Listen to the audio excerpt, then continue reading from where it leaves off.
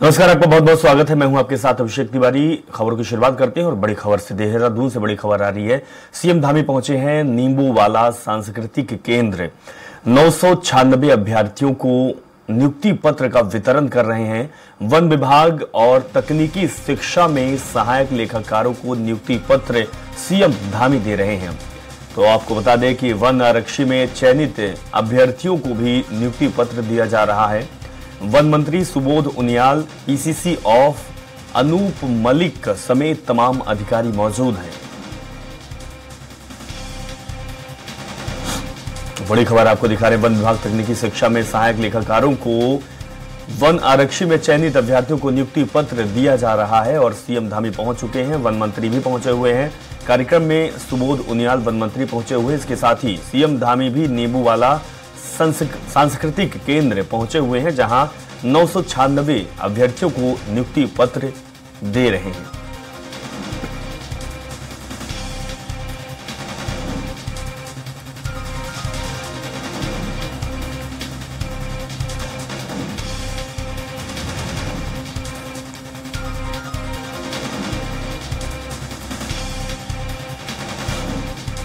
तो देहरादून से आपको बड़ी खबर दिखा रहे थे। कार्यक्रम में सीएम धामी पहुँच चुके हैं। तस्वीर भी आप तक दिखा रहे हैं। आपको बता दें कि नियुक्ति पत्र का वितरण का कार्यक्रम है, जहाँ नौ सौ छानबे अभ्यर्थी को नियुक्ति पत्र का वितरण होगा और वन विभाग और तकनीकी शिक्षा में सहायक लेखाकारों को नियुक्ति पत्र दिया जा रहा है। वन आरक्षी में चयनित अभ्यर्थियों को भी नियुक्ति पत्र दिया जा रहा है। इस कार्यक्रम में मुख्यमंत्री पुष्कर सिंह धामी के साथ वन मंत्री सुबोध उनियाल पीसीसी ऑफ़ अनूप मलिक समेत तमाम अधिकारी मौजूद हैं।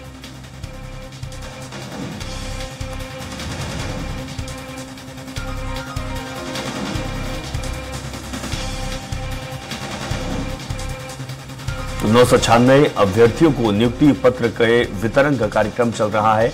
वन विभाग तकनीकी शिक्षा में सहायक लेखाकारों को नियुक्ति पत्र दिया जा रहा है। वन आरक्षी में चयनित अभ्यर्थियों को भी नियुक्ति पत्र दिया जा रहा है। सीएम धामी और वन मंत्री सुबोध उनियाल के द्वारा।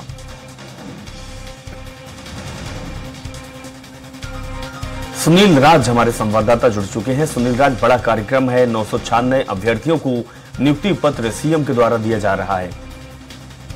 देखिए, अभी तो मुख्यमंत्री पुष्कर सिंह धामी चार दिन से दिल्ली दौरे पर थे, जैसे वो यहाँ पर आए। और इस कार्यक्रम में पहुँचे तो यहाँ पर सीधे नियुक्ति पत्र कार्यक्रम में शामिल हुए और नौ सौ छियानबे चयनित अभ्यर्थियों को नियुक्ति पत्र बांट रहे हैं। इस कार्यक्रम में जो कैबिनेट मंत्री हैं सुबोध उनियाल, वो भी यहाँ पर मौजूद है। साथ ही साथ जो खास है, यहाँ पर वन प्रमुख संरक्षक अनुपालिक यहाँ पर हैं। तकनीकी शिक्षा में जो निदेशक है, वो यहाँ पर है। तो जो तकनीकी शिक्षा और वन विभाग में जो सफल अभ्यर्थियों का जिनका चयन हुआ है, वो नौ सौ छियानबे अभ्यर्थी हैं, उनको ये नियुक्ति पत्र बांटा जा रहा है। और आने वाले दिनों में इसी तरह के कार्यक्रम, चाहे वो शिक्षा में हो, स्वास्थ्य में हो या फिर अन्य डिपार्टमेंट में जो भी सफल अभ्यर्थी जिनका चयन उत्तराखंड राज्य सरकार की नौकरी में हुआ है उनको इस तरह के नियुक्ति पत्र मुख्यमंत्री पुष्कर सिंह धामी लगातार दे रहे हैं। और आने वाले दिनों में, में ये दायरा भी बढ़ता हुआ नज़र आएगा। जी। चलिए बहुत बहुत शुक्रिया सुनील राय तमाम जानकारी आपने साझा की। तो देहरादून में बड़ा कार्यक्रम चल रहा है जहाँ पर नियुक्ति पत्र सीएम धामी के द्वारा दिया जा रहा है। तो कई अभ्यर्थी हैं जिनकी संख्या नौ सौ छियानबे है। जिनको सीएम के हाथ से आज नियुक्ति पत्र मिलेगा। इसके बाद ये अपने अपने क्षेत्र में काम करने के लिए तैयार हो जाएँगे। वन विभाग तकनीकी शिक्षा में सहायक लेखाकारों और इसके साथ ही वन आरक्षी में चयनित अभ्यर्थियों को नियुक्ति पत्र प्रदान किया जा रहा है, सीएम पुष्कर सिंह धामी के द्वारा। उत्तराखंड में लोकसभा चुनाव की तैयारियाँ जोरों पर है, जहाँ प्रदेश के सीएम पुष्कर सिंह धामी और बीजेपी प्रदेश अध्यक्ष महेंद्र भट्ट समेत 250 प्रतिनिधियों ने दिल्ली में राष्ट्रीय परिषद की बैठक में हिस्सा लिया। इस बैठक में लोकसभा चुनाव को लेकर रणनीति तैयार की गई। तो वहीं आगामी लोकसभा चुनाव में नए मतदाताओं पर पार्टी का फोकस रहेगा। इस पर भाजपा के वरिष्ठ नेता रविन्द्र जुगरान ने कहा कि केंद्र और राज्य सरकार का फोकस युवाओं के उज्जवल भविष्य पर रहेगा और आगामी प्लानिंग पर ज़ोर रहेगा।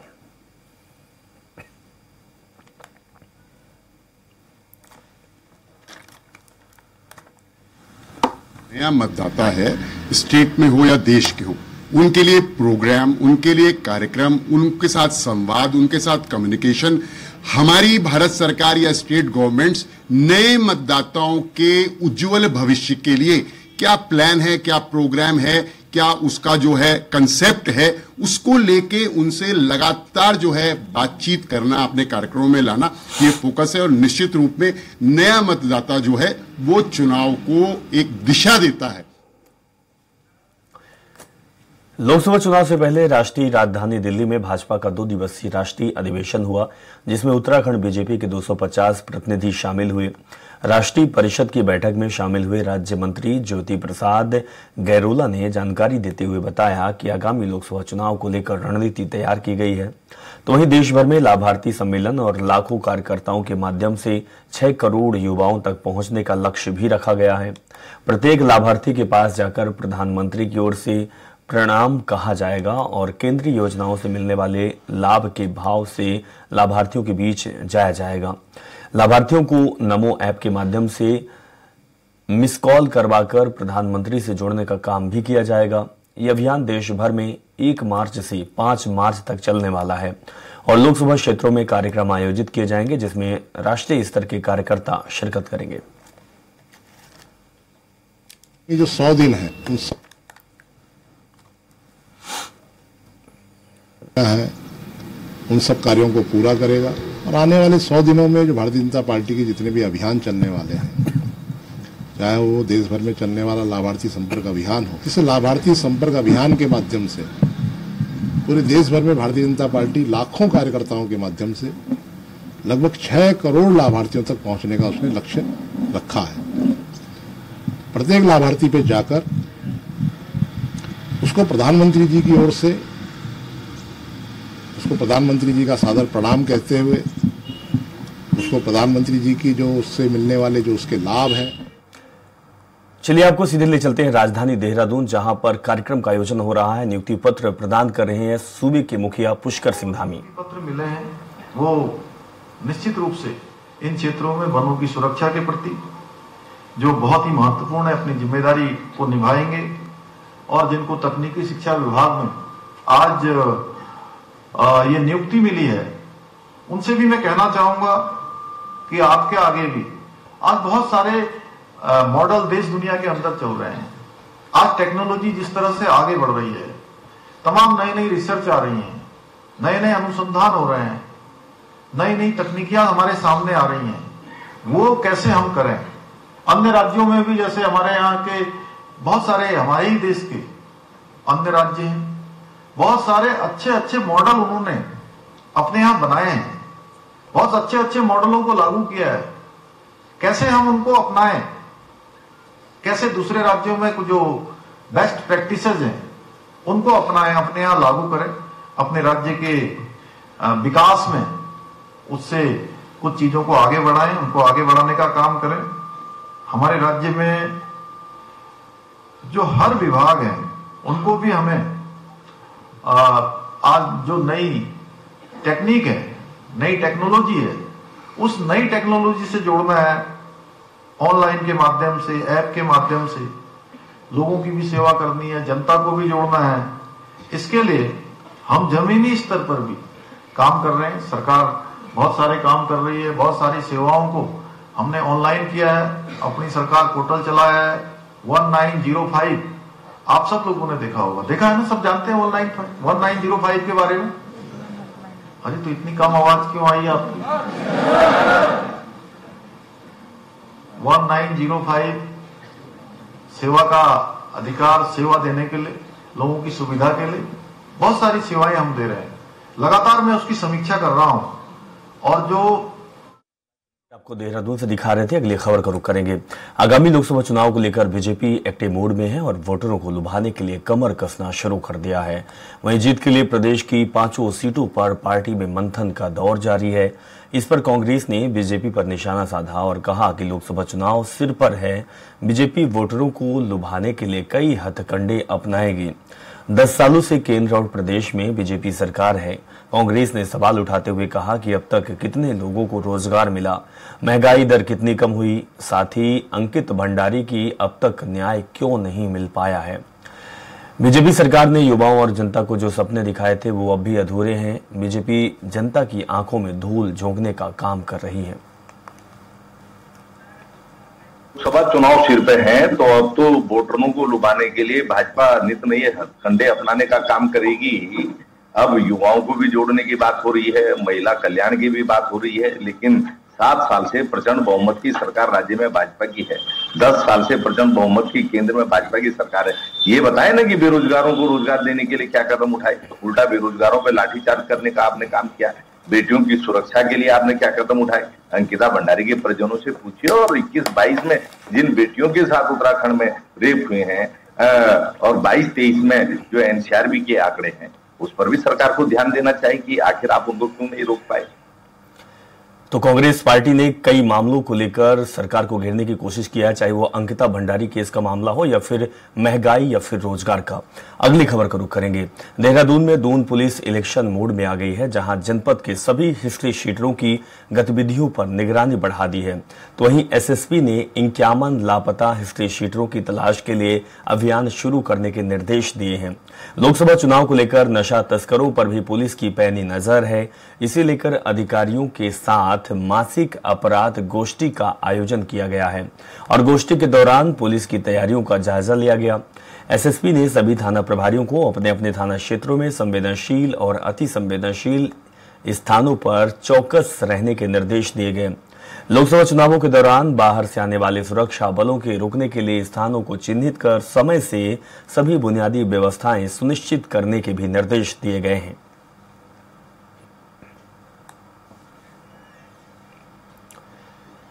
लोकसभा चुनाव को लेकर कांग्रेस प्रदेश अध्यक्ष समेत तमाम बड़े नेताओं के दिल्ली दौरे की खबर सुर्खियों में है। लिहाजा प्रदेश की पाँचों सीटों पर प्रत्याशियों के मंथन को लेकर गहनता से विचार विमर्श चल रहा। तो वहीं चुनाव में पार्टी में तैयारियों को लेकर कांग्रेस प्रदेश प्रवक्ता शीशपाल सिंह विष्ट ने कहा कि लोकसभा चुनाव में कांग्रेस कोई कोर कसर नहीं छोड़ना चाहती। प्रदेश प्रभारी कुमारी शैलजा ने चुनाव को लेकर मंथन किया था।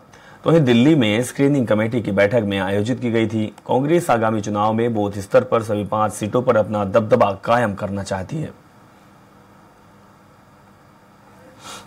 स्क्रीनिंग कमेटी की बैठक हुई। उसमें हमारे नेता प्रतिपक्ष आदरणीय प्रदेश अध्यक्ष जी और कुमारी शैलजा जी सम्मिलित हुई और वो स्क्रीनिंग कमेटी के चेयरमैन ने बैठक ली थी।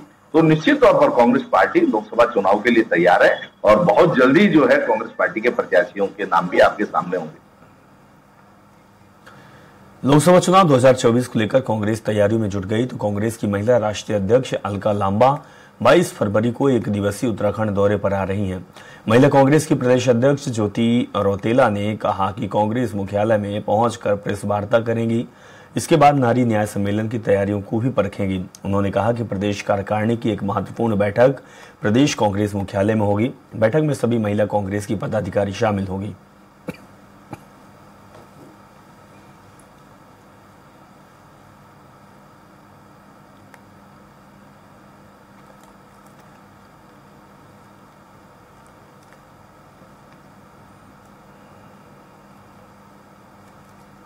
राष्ट्राध्यक्ष अलका लामा जी 22 फरवरी को देहरादून आ रही है नौ बीस की उनकी सुबह फ़्लाइट है। 11 बजे वो प्रेस को संबोधित करेंगे सबसे पहले। 12 बजे हमारा एक नारी न्याय सम्मेलन है जिसमें महिलाओं के बहुत से इशू पे वो लोग बा, वो बात करेंगे। और तीन बजे के आसपास हमारी जो प्रदेश कार्यकारिणी की बैठक है वो राष्ट्र अध्यक्ष जी हमारी जो प्रदेश कार्यकारिणी की बहनें हैं जिला अध्यक्ष हैं ब्लॉक अध्यक्ष हैं उनसे अलग से मिलना चाह रही हैं। तो वो एक बैठक है उसका तो शाम को उनकी वापसी है। उत्तराखंड विधानसभा सत्र के बाद कांग्रेसी विधायक हाजी फुरकान अहमद ने यूनिफॉर्म सिविल कोड को लेकर सरकार पर सवाल खड़े किए। उन्होंने कहा कि विपक्ष के विधायकों ने यूसीसी का विरोध किया था और सरकार से ड्राफ्ट पढ़ने के लिए समय मांगा गया था। लेकिन सरकार ने मनमानी कर इसकी अनदेखी कर दी। उन्होंने कहा कि यूनिफॉर्म सिविल कोड में बहुत सारी कमियाँ हैं और सरकार इस माध्यम से आगामी लोकसभा चुनाव में फ़ायदा उठाना चाहती है। और हम पूरी तरह से यूनिफॉर्म सिविल कोड का विरोध करते हैं। उन्होंने कहा कि हम अपने उलेमाओं और धर्म गुरुओं से इस मुद्दे पर चर्चा कर रहे हैं और अगर उसमें हमारे धर्म के विरुद्ध कुछ होगा तो हम पूरी तरह से उसका विरोध करेंगे।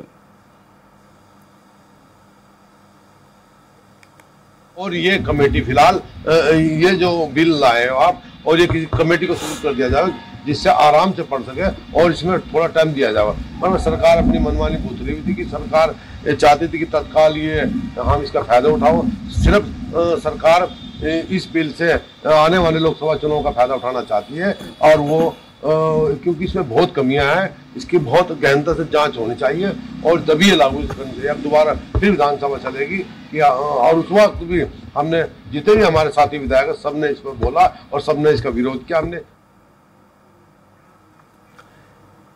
उत्तराखंड में मुख्य सचिव राधा रतोड़ी ने सचिवालय कार्यों के, सचिवालय के कर्मियों के लिए इलेक्ट्रॉनिक बस सेवा का शुभारंभ किया। इस बस सेवा का लाभ सचिवालय कर्मियों को मिलेगा और सचिवालय आने और जाने तक की सुविधा उपलब्ध कराई जाएगी। यह बस सचिवालय कर्मचारियों को केदारपुरम स्थित सचिवालय कॉलोनी से रिसीव करेगी। इसके बाद शाम को सचिवालय के सभी कर्मचारियों को केदारपुरम सचिवालय कॉलोनी में ड्रॉप भी करेगी। इस अवसर पर मुख्य सचिव राधा रतूड़ी ने सचिवालय कर्मियों को बधाई दी है, जिससे शुरू होने से देहरादून की ट्रैफ़िक समस्या को कम करने में मदद मिलेगी। देहरादून में कई सूत्री मांगों को लेकर सड़कों पर उतरे उपनल कर्मचारी आज अपना धरना स्थगित करेंगे। उपनल कर्मचारी संगठन के अध्यक्ष विनोद गोदियाल ने बताया कि उन्होंने मुख्य सचिव से अपनी मांगों को लेकर मुलाकात की है। पूरे मामले पर पाँच सदस्य समिति का गठन किया गया, जो अपनी रिपोर्ट एक महीने के भीतर दे देगी। साथ ही कहा कि ज़्यादातर मांगों पर सरकार ने रिटर्न में अपनी सहमति दी है। इस पर सीएम पुष्कर सिंह धामी भी का धन्यवाद भी ज्ञापित किया जाएगा और कल से सभी उपनल कर्मचारी अपने अपने कामों पर लौट जाएँगे। में मिला है और चीफ सेक्रेटरी महोदय के अध्यक्षता में एक कमेटी गठित होगी हमारे मांगों के लिए, जिसमें सचिव, कार्मिक, वित्त, न्याय और सैनिक कल्याण रहेंगे और हमारा एक प्रतिनिधिमंडल उसमें भी रहेगा। और विद इन अभी जो लिया है कि एक महीने के अंदर वो रिपोर्ट करेगी अपनी और जिसमें माननीय मुख्यमंत्री जी ने घोषणा की थी दस परसेंट की, वो भी उसमें आ गया है। और जिसे हम माननीय मुख्यमंत्री जी का धन्यवाद करने जाएँगे। उत्तराखंड में भू कानून और मूल निवास को लेकर आंदोलन तेज होता जा रहा है, जिसे लेकर सरकार के लिए मुश्किलें खड़ी कर सकता है। दरअसल मूल निवास भू कानून समन्वय संघर्ष समिति के आह्वान पर प्रदेश में जगह जगह स्वाभिमान रैली का आयोजन किया जा रहा है, जिसे स्थानीय निवासियों की तरफ़ से समर्थन भी मिल रहा है। भू कानून समन्वय संघर्ष समिति सरकार से प्रदेश की जमीनों की खरीद फरोख्त रोकने के लिए हिमाचल की तर्ज पर सशक्त भू कानून लागू करने की मांग कर रही है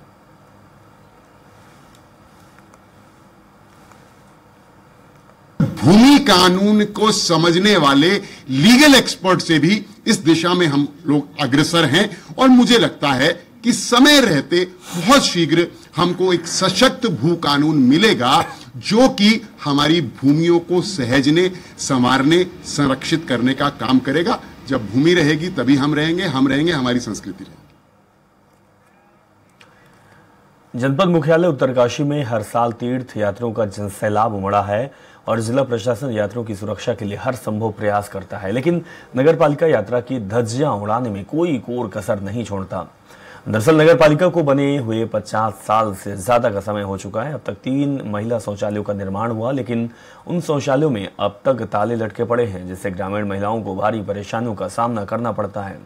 दरअसल जिनके रिश्तेदार शहर में रहते हैं, वो मजबूरी में उनके घरों की शरण लेती हैं। लेकिन जो गरीब महिलाएँ अपने सरकारी काम के लिए शहर आती हैं तो मजबूरी में प्राइवेट शौचालय जाने को मजबूर हैं, जिनसे मनमाने दामों पर पैसा भी वसूला जाता है।